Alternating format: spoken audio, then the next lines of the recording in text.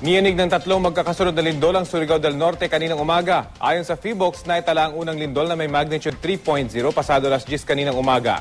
Ang epicenter ng lindol ay nasa hilagang silangan ng Burgos, Surigao del Norte. Sinundan ito ng magnitude 3.3 na lindol bago mag alas 10.30. Ang epicenter naman nito ilang kilometro lang ang layo mula sa epicenter ng unang lindol. Ang ikalawang pagyanig sinundan pa ng magnitude 5.5 na lindol pagkatapos ng ilang minuto. Wala namang naitalang pinsala o aftershocks bunsod ng magkakasunod na lindol.